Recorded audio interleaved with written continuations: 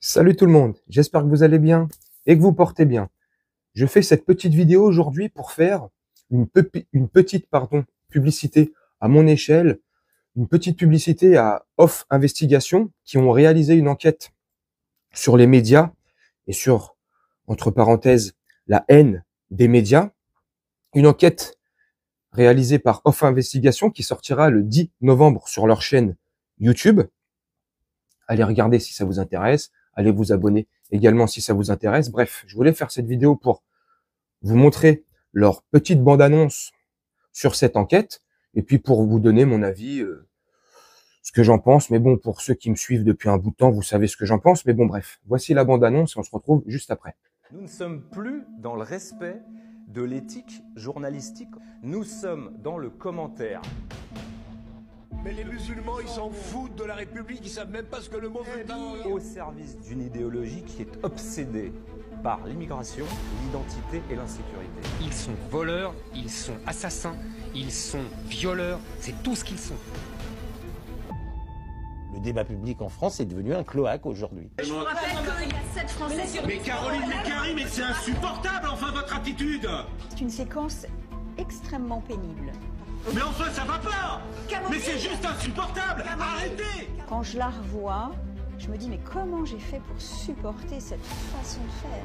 On est vraiment dans un dispositif piégeux. C'est insupportable votre attitude sur un plateau de télévision. On voit quand même bien le parti pris de Pascal Pro, qui n'est pas un arbitre, mais qui intervient presque en tant que partie prenante. Pourquoi ils investissent dans les médias, tous ces milliardaires Pour contrôler la pensée. Pour contrôler. Le seul parallèle qui peut être fait, c'est avec euh, la presse d'il y a un siècle. C'était une presse corrompue, c'était une presse totalement instrumentalisée, et c'est une presse qui ensuite, pour l'essentiel, a sombré dans la collaboration. Aujourd'hui, dans les médias Bolloré, vous avez des gens qui ne sont pas d'accord, mais qui restent parce qu'ils ont la trouille.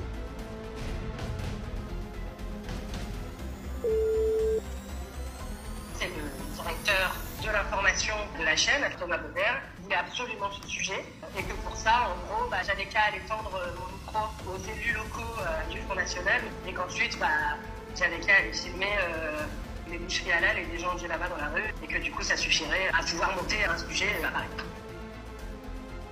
Est-ce que tu es venu faire un coup d'éclat? Ça devrait même pas être un coup d'éclat que critiquer ton patron sur ta chaîne. ça devrait même pas être un coup d'éclat. Moi, je ne crache pas dans la main qui me nourrit. Ce sont des valets et des courtisans. La France insoumise, le racisme, l'antisémitisme, rien, que dalle pendant 10 minutes. Non mais sérieusement, à votre avis, quel sujet? Qu'est-ce que vous faites? Vous faites semblant de quoi? De pas comprendre? Moi je le dis au premier imam de France qui est devenu Jean-Luc Mélenchon, ferme bien ta grande gueule et à jamais. Je pense que l'information continue c'est une catastrophe pour la démocratie. Ah, mais je pense que je parle pour beaucoup de Français quand je dis qu'ils crèvent. Catastrophe. Israël fait le travail de l'humanité ici. Absolument aucun remords à ce niveau-là qu'ils crèvent tous. Alors, dites-moi ce que vous en pensez. En commentaire, bien sûr, pour ceux qui le veulent. C'est un parti pris d'offre investigation. Ça va dans un seul sens. Il n'y a pas la réponse d'en face. C'est un seul son de cloche. Je sais pas. Dites-moi ce que vous en pensez.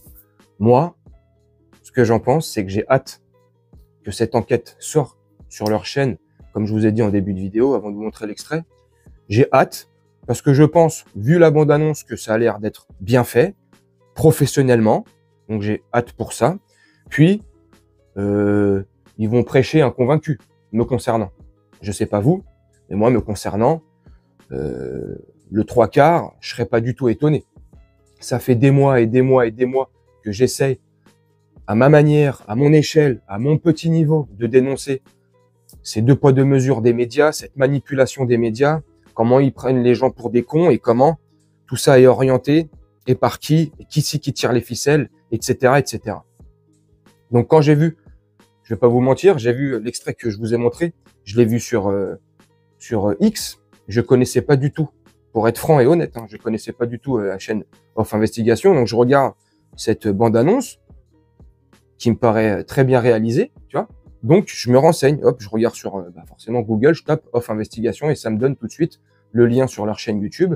J'ai été regarder vite fait comme ça quelques minutes avant de vous faire cette petite vidéo.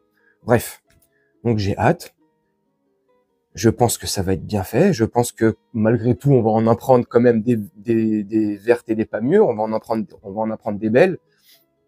Enfin voilà. Je sais pas ce que vous en pensez. Voilà, je vous ai prévenu en début de vidéo. C'est une courte vidéo pour vous montrer l'extrait. Enfin, cette bande-annonce de cette enquête réalisée. Et je me répète une énième fois par off investigation.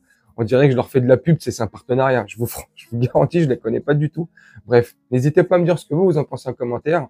Moi, je vais vous laisser là-dessus, faire un petit montage tranquillement, vite fait, et nous, on se retrouve bientôt pour une prochaine vidéo. Je vous souhaite une très bonne journée, une très bonne soirée ou une très bonne nuit. Ciao